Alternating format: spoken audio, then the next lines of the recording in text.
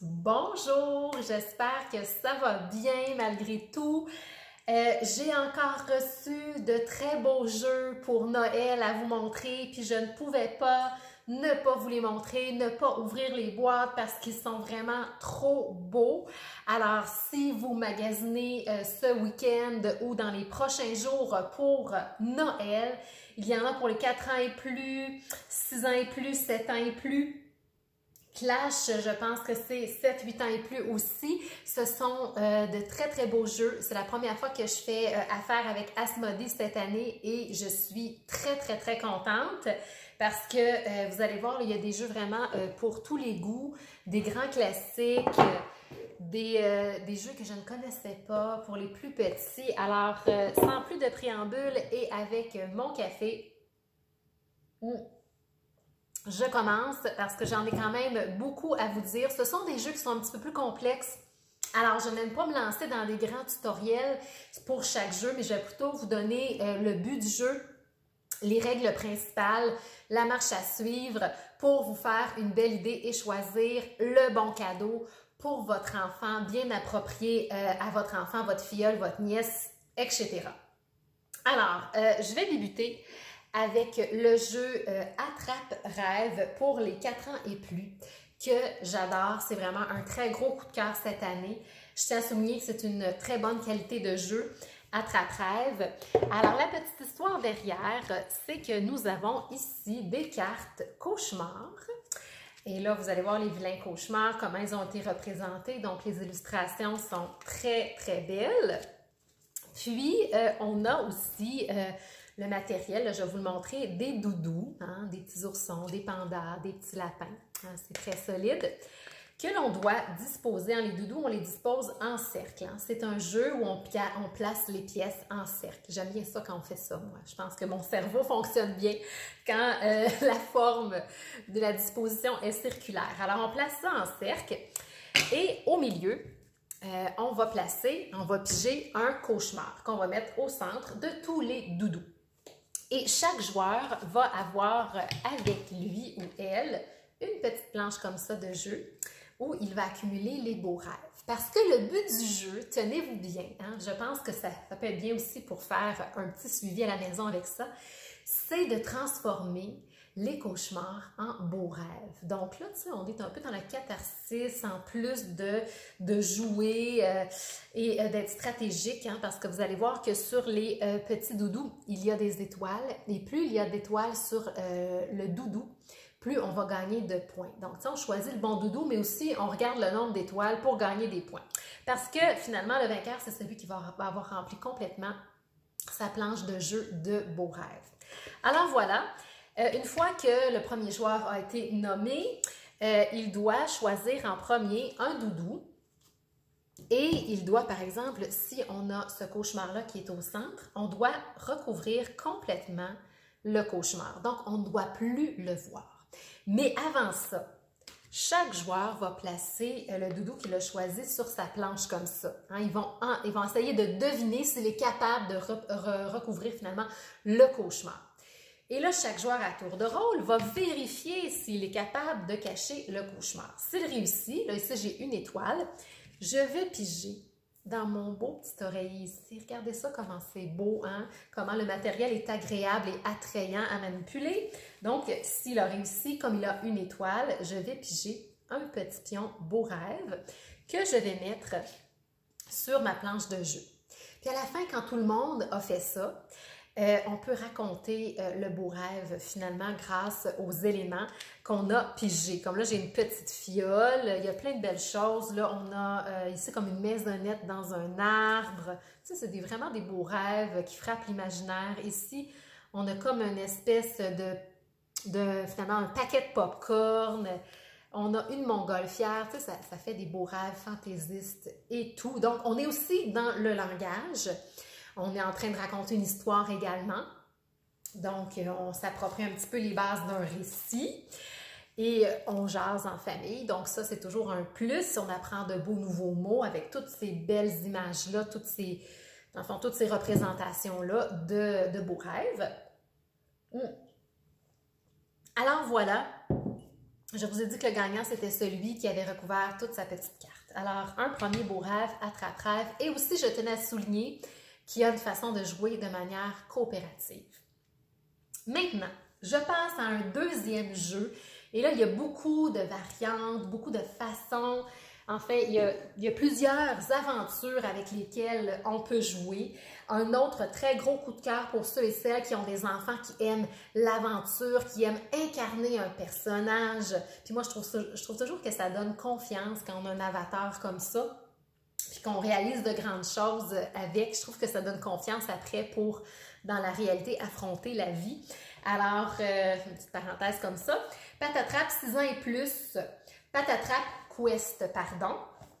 Euh, c'est Space Cow euh, et aussi Attrape-Rêve, c'était aussi Space Cow, l'éditeur. Puis, ce qui est intéressant dans ce jeu-là, c'est que le matériel est encore une fois extrêmement beau. Donc, on a vraiment une structure de jeu, une planche de jeu qui est en 3D. Donc, déjà là, c'est attrayant, ça me gagne. On a des petites trappes parce que là, la petite histoire, c'est qu'on doit aller combattre un méchant sur la tour aux mille miroirs. Méchant qui change à chaque partie. Parce qu'on a différentes aventures ici avec des méchants différents. On a un vampire, on a le loup-garou, une araignée, un roi maudit. Tu sais, c'est le fun. Alors voilà, puis ici, ce sont nos petits personnages que l'on place ici, des beaux personnages en bois. On a des filles aussi, on a des garçons.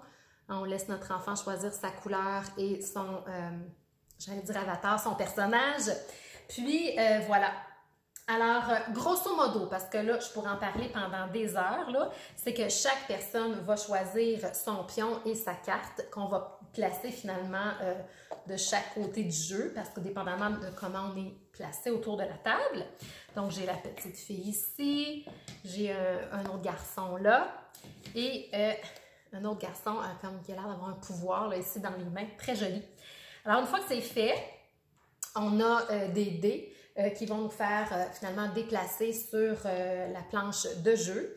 On peut choisir de, n'avoir qu'un seul dé qu'on utilise, je ne me rappelle plus lequel, ou faire la somme des deux. Donc là, encore une fois, on peut utiliser les mathématiques également. Puis, on se déplace d'une trappe à l'autre. Le but du jeu, c'est d'aller combattre le méchant en haut avec les bonnes armes parce que nous avons une série de petits jetons comme ça à accumuler sur notre planche. Regardez, il y a des espaces pour les mettre. Et euh, pour chaque méchant, par exemple, si on choisit l'araignée pour euh, faire l'aventure avec l'araignée, on a trois petites armes dont il faut euh, disposer pour réussir à la combattre, une épée, une toile et un arc et des flèches. Alors voilà, ça vous donne une idée donc voilà, on se déplace sur la planche de jeu, mais là, regardez, en se déplaçant, les trappes doivent s'ouvrir. Mais là, regardez, vous ne la voyez pas. Vous ne voyez pas ce que sur euh, la petite trappe à l'intérieur, c'est une, lampe. Mais c'est pour ça qu'il y a des miroirs, parce que sur le miroir, on voit euh, finalement euh, l'arme ou le jeton qu'on a trouvé. Quand on se déplace, on ne le fait pas pour que chaque trappe ouvre à chaque fois, parce que sinon, ça serait on verrait trop, trop rapidement ce qu'il y a autour de la tour, mais on se déplace de cette façon-là, par exemple 1, 2, 3, 4, 5, et lorsqu'on arrive à 5, c'est là qu'on place notre pion et qu'on découvre, ici, c'est l'épée. Mais là, je la laisse ici parce que je suis censée la voir dans la tour au miroir. Alors voilà. Donc, une fois qu'on a l'épée, ce qu'il faut faire, c'est que dans les petits jetons dont on dispose, on va chercher notre petite épée. Est-ce que j'en ai une?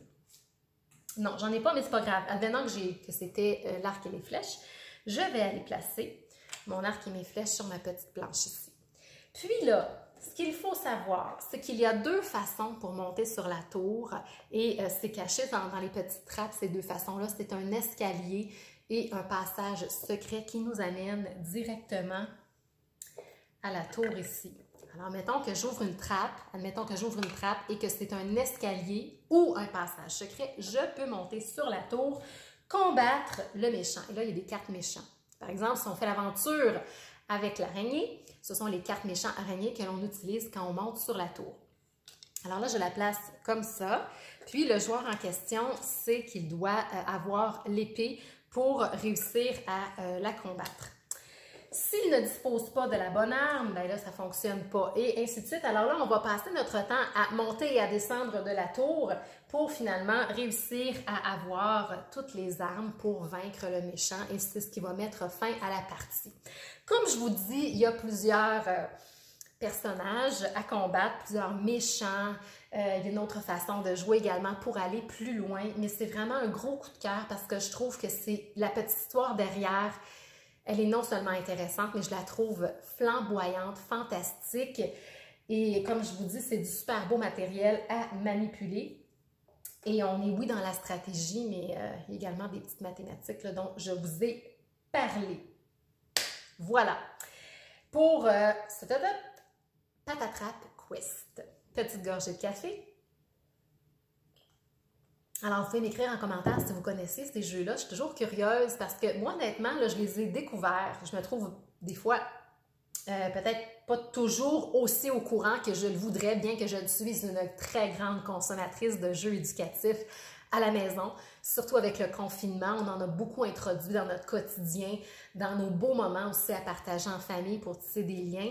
Puis j'ai l'impression que pendant les vacances de Noël, on va avoir beaucoup de temps pour jouer ensemble. Alors, euh, J'en ai fait entrer d'autres dans la maison. Et euh, je vous présente maintenant, tu sais, quand je vous disais, est-ce que je connais euh, tous les jeux? Non, je ne connaissais même pas. En fait, j'avais entendu parler parce que quand j'étais petite, il existait du jeu Carcassonne. Et ça a toujours piqué ma curiosité. J'ai toujours voulu jouer. Et c'est de quel éditeur? Z-Man Games. Ce qui s'écrit plus de 12 millions de jeux vendus. Euh, c'est pour 7 ans et plus celui-là, si je ne vous l'ai pas dit. Et moi, je dois vous faire une confession. J'ai visité la cité de Carcassonne, je suis allée dans le sud de la France, je l'ai vu de mes yeux vus, mais même avant d'être allée, c'était quelque chose qui m'intéressait beaucoup, euh, les, les remparts autour de la ville, euh, la manière au Moyen Âge de finalement développer un territoire, contrôler le territoire. Donc, c'est un petit peu ça l'histoire derrière le jeu, c'est qu'on doit contrôler le territoire. Puis le jeu, il est très, très, très attrayant. On a plein de petites tuiles comme ça avec euh, des villes, des routes. Qu'est-ce qu'on a d'autre aussi? Des villes, des routes, des chemins, euh, des abbayes. Euh, voilà, alors tu sais, c'est vraiment là, il y a une montagne de tuiles comme ça qui sont très solides, très belle qualité. Donc là, on est vraiment dans un jeu de stratégie où on doit anticiper, réfléchir, se concentrer pour accumuler des points et pour placer les tuiles de la bonne façon. Parce que ce qu'il faut savoir dans Carcassonne, c'est que euh, on a ce qu'on appelle des petits bon Dieu, je me rappelle plus du nom, comment ils les appellent. Moi, j'appelle ça des, des, pions, finalement, des petits bonhommes. Et on doit les placer euh, au départ, juste ici. Ça, ça ne sert qu'à euh, comptabiliser les points, cette planche-là. C'est pas là-dessus qu'on joue. Et c'est un jeu qui va se construire petit à petit au fur et à mesure que l'on va... on fait plein de petites piles de tuiles comme ça sur la table. Donc, au fur et à mesure qu'on va piger ces tuiles-là. C'est tellement beau. Euh, ça frappe l'imaginaire. Je trouve ça le fun qu'on se transforme en, finalement, là, euh, bâtisseur, si je peux me permettre. Alors voilà. Alors admettons que là, moi, euh, je commence à jouer. On a une tuile départ. Il faut partir avec quelque chose. Il faut compléter ce qui est déjà là. Par exemple, si on a une route, c'est la tuile départ. Donc, on peut compléter une route, une ville ou un abbaye. Alors, admettons que moi, je suis rouge, là, que je pige une première tuile pour la placer. Là, je pige une tuile route. C'est bien important de la disposer de manière à ce que je complète ce qu'il y a là. Bon, mettons que c'est placé comme ça. Je pourrais la placer comme ça. Il faut que le pré s'aligne et il faut que la petite route s'aligne aussi.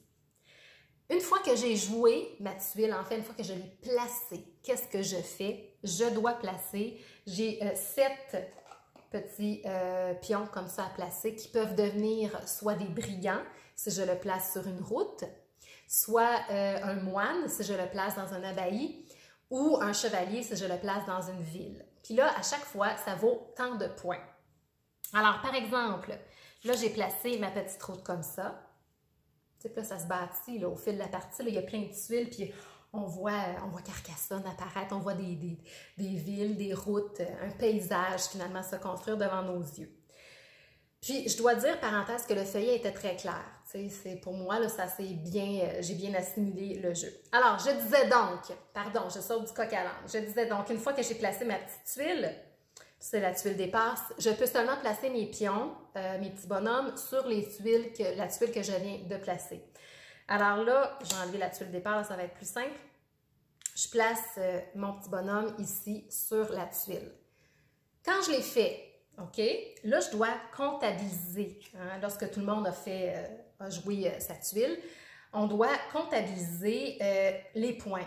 Alors, si je suis ici sur la route et que la route, elle doit être complétée, hein, soit qu'elle doit faire une boucle ou qu'elle doit réunir deux villes, donc elle est complète. Même chose, on doit compléter euh, la ville lorsqu'elle est, elle est toute entourée de remparts, est-ce qu'il n'y a, a, pas d'espace vide à l'intérieur? Et quoi d'autre qu'on peut compléter? L'abbaye aussi, il y a une manière de la compléter euh, de manière adéquate. Lorsqu'on a, euh, a tous joué nos tuiles, puis là c'est important hein, parce que je peux pas peser mon, je peux pas mettre mon, pardon, je peux pas poser mon petit bonhomme sur une route qui est déjà prise où il y a déjà un autre petit bonhomme. Je peux pas peser, je peux pas mettre mon, euh, mon chevalier dans une ville où il y a un, petit bonhomme, un chevalier de d'une autre couleur, hein, d'un adversaire, et ainsi de suite. Même chose pour le curé. Donc là, on va comptabiliser les points après chaque tour. Puis, euh, grosso modo, là, on peut aller plus loin avec des rivières, euh, avec euh, un autre type de personnage. Je pense que ce sont les abbés, on peut aller plus loin. Donc, c'est ça. Une fois qu'on a tous joué nos tuiles, qu'on a comptabilisé nos points, si on a complété les routes des abbayes ou des villes, et que là, là, Finalement, on a, joué toutes ces tuiles, on n'est plus capable de placer aucune tuile ou on ne dispose plus de aucune tuile, la partie se termine et là, on totalise les points. Puis aussi, euh, une façon avec les, jetons, les petits bonhommes restants, d'ajouter des points à la fin de la partie pour euh, comptabiliser. Donc, je trouve ça beau, je trouve ça génial. Euh, je suis extrêmement heureuse de l'avoir reçu, ce jeu-là, des heures de plaisir avec ma grande fille. Je m'arrête, hein, parce que ça paraît que j'aime beaucoup Carcassonne. Je m'arrête pour ce jeu-là. Euh, je vais aller, je vais aller, qu'est-ce qui me reste? Oui. Je vais aller avec un jeu qui est très drôle. Euh, celui-là, il est pour les 7 ans et plus, mais je pense beaucoup à nos pré-ados. tu sais, qui aiment l'humour un petit peu absurde, un peu déjanté. Ça s'appelle Aïe Burrito. Donc, euh, voilà. Et ça vient avec, tenez-vous bien, deux burritos personnifiés, hein, des burritos, qui sont super le fun à écraser. Donc, si vous avez une journée aussi stressante, vous pouvez jouer à aïe aïe burrito avec votre enfant. Parce que euh, au cours de la partie, il y a des guerres, duels ou batailles de burrito qui vont être euh, amorcées. Puis là, on va se lancer le burrito dessus. Donc, euh, encore une fois, tu sais, quand c'est encadré, quand c'est contrôlé, c'est fun, ce genre de jeu-là. et ça, ça oui, c'est stratégique, là. On doit vraiment penser à notre affaire, mais ça fait du bien. Hein? Ça fait du bien de jouer comme ça, de laisser sortir son fou avec nos enfants. On en a besoin aussi dans le contexte actuel. Alors voilà, ce qu'il faut faire, là, grosso modo, c'est qu'on met les burritos au centre. Pardon, je suis sortie du cadre. Puis on a, euh, par exemple, si on joue à deux, on a deux piles au milieu euh, où on doit piocher avec les burritos. Puis on a également notre petite pile personnelle où on doit aussi euh, piocher, en fait.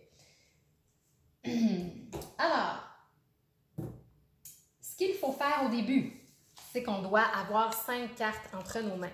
Puis là, regardez les cartes, elles sont fun. Elles ont des personnages que je juge aussi complètement loufoques, absurdes. J'ai un rocker glandeur, un poussin lécheur. Puis là, il y en a qui disent stop par pitié parce qu'il est en train de se faire lécher par le poussin.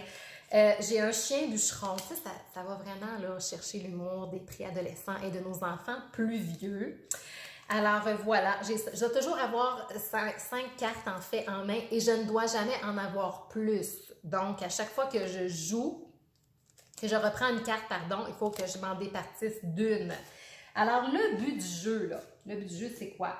C'est de faire des trios de cartes pour accumuler des points. Comme là, j'ai trois rockers glandeurs, ça vaut un point. OK? Ça se joue en deux manches. Mais là, Je peux aussi accumuler des trios de cartes, bataille de burrito, guerre, duel de burrito. Puis là, à ce moment-là, quand j'ai euh, trois cartes bataille de burrito, non seulement euh, j'ai un point, hein, j'accumule un point, mais je déclenche une bataille de burrito. Dépendamment si c'est une guerre, un duel ou une bataille, c'est les deux joueurs à côté de nous ou c'est nous qui participons. Puis là, euh, finalement, ça se termine quand il y a un joueur qui est touché et qui est déclaré KO. Donc là, on distribue les petits burritos KO. Et là, on continue à jouer. Lorsqu'on se départit de nos cartes, hein, parce qu'on doit faire des trios de cartes, on doit comme être stratégique, puis on met notre carte dont on ne veut plus dans la pile de l'autre. Donc là, ça sème, ça sème un peu la zizanie, la pagaille. C'est comme aïe aïe aïe, c'est complètement fou. Alors voilà. Quand tous les, petites, euh, les petits jetons KO euh, sont distribués, euh, la première manche est terminée et là, on va jouer une deuxième manche, puis on va totaliser les points.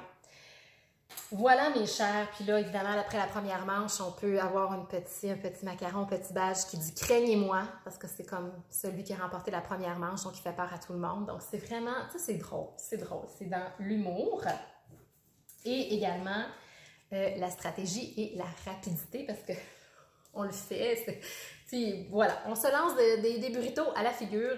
Je voulais absolument le tester celui-là parce qu'il avait piqué ma curiosité au maximum. Je termine avec quoi? Ah oui, oui, oui, oui, ça c'est le fun, vous allez voir. Hmm. Êtes-vous toujours là? Oui? OK. Alors, je vais tasser mes verres d'eau, là. Mon, café aussi. J'ai le jeu ici, euh, Clash. Je pense, écoutez, que c'est 7 ans et plus. Là, je vais, l'écrire en dessous de ma vidéo, je ne me rappelle plus. C'est une planche comme ça de jeu. Ça a été euh, conçu, pensé, designé au Danemark. C'est un Danois qui a inventé ça. Puis, je trouve que c'est complètement génial parce que là, on dépose ça sur une surface plane. Puis ça, c'est des petits aimants. C'est magnétique comme jeu. On utilise le magnétisme pour faire déplacer nos choses. Bon, là, les petits aimants, ça va être compliqué. Je vais juste vous dire où on les place, d'accord? Alors, on les place ici sur les petits points. On doit les positionner, au centre.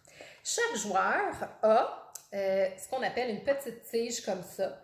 J'ai oublié le terme exact là. Mais sachez qu'en dessous, regardez, il y a la deuxième partie parce que ça colle. Et c'est comme ça que je vais, regardez bien, déplacer mon bâton de hockey, mon, mon bâton finalement. Et euh, on a la petite balle, évidemment, que l'on doit eh, je vais essayer de la déplacer, mais là, évidemment, ça va rouler. Mais regardez, on peut donner des coups dessus pour la faire entrer dans le but adverse. Le but du jeu, là, c'est de faire 6 points. Mais là, il y a plusieurs façons de marquer des points. Par exemple, si mon adversaire met la balle dans mon, but, il a un point.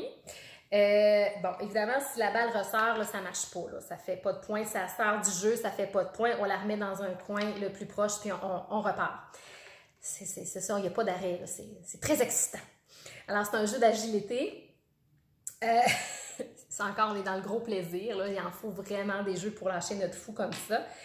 Et là, euh, écoutez, regardez, si ça tombe là, ici, mettons que je fais tomber mon mettons, que je le fais tomber. Bien, ça, c'est un point pour mon adversaire aussi. Oups, il est revenu, euh, il est revenu droit. C'est très, très agréable. Alors voilà, ça, c'est une autre façon de faire un point quand mon, petit bâton se sépare en deux et qu'il tombe. Si euh, j'accroche au passage, parce que ça, c'est comme des obstacles dans le jeu, les espèces de petites bébés, les petits aimants là, euh, blancs. S'il y en a deux, là, parce que c'était menté ça aussi, s'il y en a deux qui collent après mon bâton, c'est un point pour mon adversaire. Ça, c'est si ça tombe, je pense que si en fait tomber un aussi, ça peut être un autre point. Alors voilà, c'est vraiment très le fun. Ça a gagné euh, beaucoup de prix, le jeu Clash. Parce que si aussi, ah oui, si, mon bâton, en fait, si, euh, oui, si le bâton est dans la zone de but, de, de, ma propre zone de but, ça va faire Clash parce que là, il n'y a plus de... Regardez, je vais essayer de faire le bruit pour vous. Voilà, Clash. Alors ça aussi, c'est un point pour mon adversaire parce que j'ai mis mon bâton dans ma propre zone de but. Et même chose, si la balle arrive dans mon but à moi, ben là, je, hein, c'est mon adversaire qui a un point. Je vais, je pense, je vais l'offrir à mon, euh, à mon filleul adoré ce jeu-là. Quoique je sais que ma grande fille aimerait euh, beaucoup, beaucoup ça, l'avoir. Si vous avez des questions, hein, il y en a déjà qui ont consulté tous mes guides cadeaux qui sont sortis euh, en octobre. Ces jeux-là vont aller rejoindre ma liste, mes guides cadeaux. Euh, tout de suite cette semaine, en fin de semaine, pour compléter tout ça. relisez les cadeaux, il y a vraiment des, idées pour tous les goûts. Euh, pour les 0-3 ans, les, 2, les 0-2 ans, les 2-4 ans, les 6-7 ans et plus, les 5 à 99 ans. Donc, euh, tout ça, c'est sur le blog depuis fort longtemps. Merci à tous ceux qui les ont consultés. C'était comme juste wow, à quel point vous m'avez fait confiance cette année pour euh, le choix de jeu, le bon jeu pour votre enfant. Euh, également, il y a les guides de lecture qui sont sortis si vous voulez offrir de la belle littérature jeunesse en cadeau. Il reste les romans qui vont paraître la semaine prochaine. Mais si vous voulez un bel album, un, beau documentaire ou un beau livre pour les 0-3 ans, 3-5 euh, ans, 6-12 ans, c'est euh, tout est sur le blog. Alors voilà, aimez, commentez, partagez, abonnez-vous à ma chaîne YouTube et je vous dis à bientôt. Bonne fin de magasinage.